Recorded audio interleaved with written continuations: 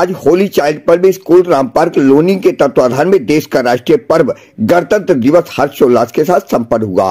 पूर्वान्ह 11 बजे से पूर्व नियोजित कार्यक्रम अनुसार दीप प्रज्वलन उपरांत आरंभ किए गए कार्यक्रम का आगाज़ झंडा अभिवादन करके किया गया। आर्थिक कसाना के कुशल संचालन में गणमान अतिथियों समाज सेवियों ने अपनी गरिमामय मौजूदगी दर्ज कराई। विद्यालय के प्रतिभाशाली बच्चों ने रंगारंग कार्यक्रम के बीच नृत्य, नाटिकाएँ, लोकगीत आदि के कुशल प्रस्तुतिकरण से उपस्थित दर्शकों का मन मोह लिया। यही नहीं, उन्होंने विभिन्न प्रकार के पिरामिड बनाकर राष्ट्र ध्वज लहराए, जिसे देखकर विद्यालय में मौजूद दर्शकों ने दांतों तले उंगली दबा ली। इस अवसर पर विद्यालय प्राचार्य अरविंद बैसला ने मन के उद्गार व्यक्त करते हुए कहा, भारतवर्ष का नागरिक होने के नाते हमारा भी कर्तव्य बनता है कि हम विद्यार्थियों को वह शिक्षा प्रदान करें, जिससे युवा देश को एकजुट रखने के बारे में सोचे और पढ़ लिख कर राष्ट्र के निर्माण में अपनी भागीदारी निभाए। देखिए आज की ये रिपोर्ट।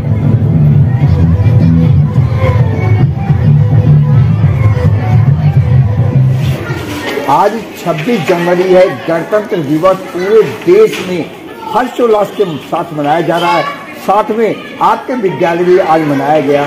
क्या कहना चाहेंगे? क्षेत्र के लिए क्या कहना चाहेंगे?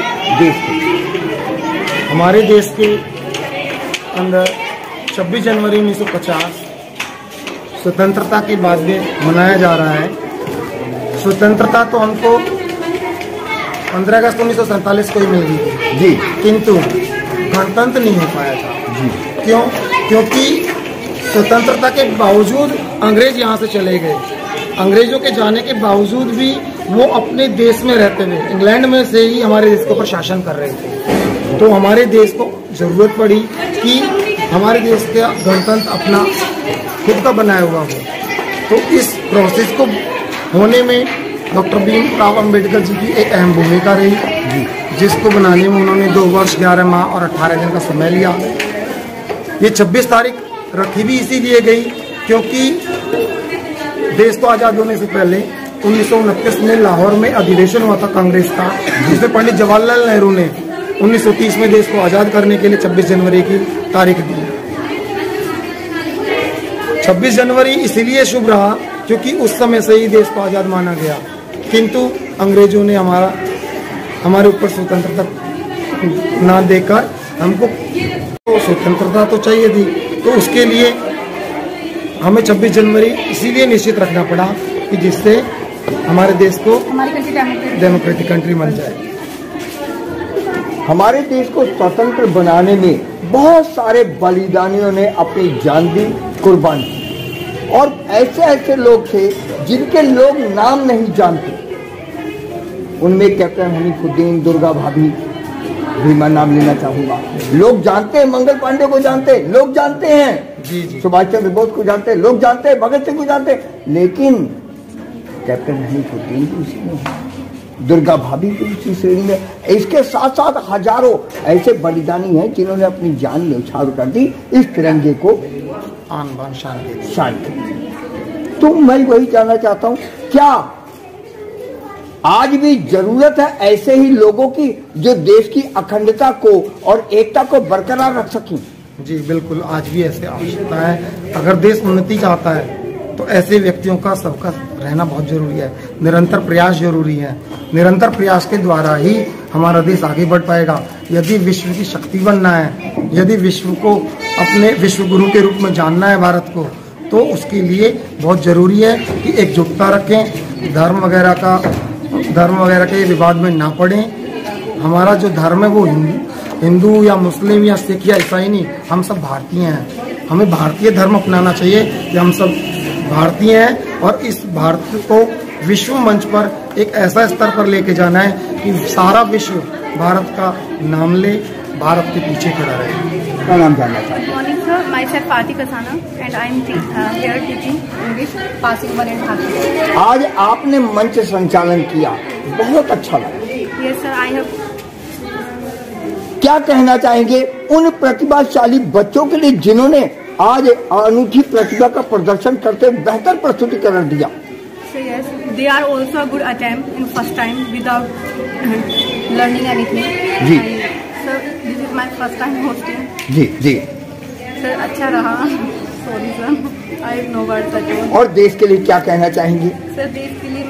बोलना चाहूँगी कि अगर देश को बढ़ाना है उन्नति कराना है तो सभी का एक साथ एकजुट होना बहुत ज़रूरी है और उसमें सर यूनिटी होनी चाहिए। ये नहीं कि लोग जातिवाद को लेकर एक दूसरे के प्रति लड़ाई झगड़े ये सब चीज़ें स्टार्ट करें या जातिवाद के प्रति लोगों को भड़काएँ बल्कि उसमें सभी को एक साथ होकर आगे बढ़ने की बहुत ज़्यादा ज़रूरत है। मेरा नाम ईश्वर दयाल शर्मा शर्मा जी बात वही आती है देश की एकता और अखंडता बरकरार रखने के लिए।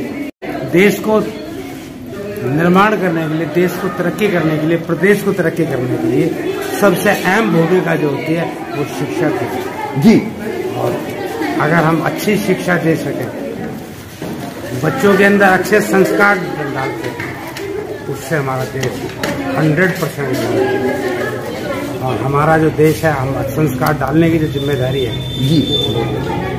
स्कूल की है स्कूल के अध्यापक की है और साथ साथ जो है जी एक बात और जी ज़रूर।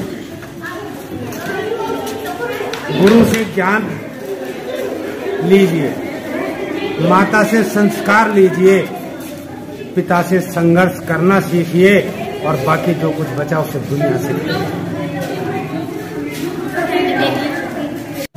आज गणतंत्र दिवस का पावन पर्व है राष्ट्रीय पर्व है। ऐसा क्या कहना चाहेंगे? धर्म, बिरादरी और समुदाय से हटकर। उन लोगों के लिए क्या कहना चाहेंगे? जो आज भी छोटे छोटे समुदाय में छोटे छोटे धर्म के अंदर छोटी सोच के साथ जी रहे हैं। सर, मैं ये कहना चाहता हूँ कि किसी भी चीज़ का जो निर्माण होता है ना तो किसी एक प्रॉपर चीज़ से नहीं होती है। जी।